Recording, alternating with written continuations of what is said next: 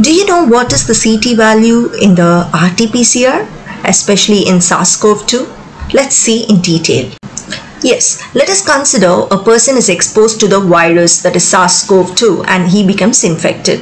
But he doesn't develop any symptom in the first week after exposure. So in the second week of exposure, the virus is being in the detectable level, but still the person doesn't develop any symptom of SARS-CoV-2. And later, that is a third week after the exposure, he has the maximum production of virus in which there is a rate of transmission of SARS-CoV-2 also becomes very high and gradually the production of virus as well as the transmissibility gradually reduces at the sixth and seventh week. To say a person is being infected with SARS-CoV-2, we are doing an RT-PCR. So what does this RT-PCR do? It just detects the RNA genome of the SARS-CoV-2 in a patient sample. So either it just find out a single target area of the genome or the multiple areas of the genome. If you want to know detailedly about the RT-PCR, you can check the description box to know about the RT-PCR of SARS-CoV-2. CT value means cycle threshold by RT-PCR. So it is a semi-quantitative value which tells you approximately how much viral genetic material is present in the patient sample. Based on that, it can be categorized as low, medium and high.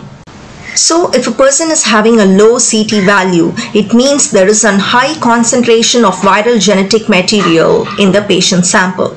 So it is typically associated with a high risk of infectivity. For example, if a patient having a high CT value, it means the there is a low concentration of viral genetic material in the patient sample, which has been associated with a low risk of infectivity the CT value cannot be relied upon as a single value to determine the patient's infectivity. Always we have to combine the CT value with the clinical context to decide about the patient's infectivity status. The other shortcoming of the CT value is that the CT value of one laboratory will not be same as that of the other laboratory because uh, each laboratory uses different assays of different types and hence the CT value cannot be directly compared between different assays. The cycle threshold value can be defined as a thermal cycle number at which the fluorescent signal exceeds that of the background and thus passes the threshold of positivity. This is a graph showing the RT-PCR post-run analysis with the x-axis being the cycle number and the y-axis being the relative fluorescence. So do you see a dotted line which shows the threshold line? A typical RT-PCR will have a maximum of 40 thermal cycles. Lower the CT value, higher the quantity of viral genetic material in the patient sample. And hence we are able to distinguish whether the patient has having a high viral load or a low viral load. So if you have a 3 point increase in CT value, it is roughly equivalent to 10 fold decrease in the quantity of viral genetic material. For example, if a patient is having initially 28 and gradually uh, in the next test the CT value goes with 25, so there is a 3 point decrease which means there is a 10 fold decrease in the quantity of genetic material in that particular patient. As I mentioned earlier, the different laboratory uses different assay and hence the CT value of one laboratory cannot be directly compared because there is a variation in the following factors like sensitivity, chemistry of reagents, gene targets, cycle parameters, analytical interpretative methods, sample preparation and extraction techniques. So the CT value is inversely proportional to the patient's infectivity. For example, if a person is having a low CT value, he has high viral load.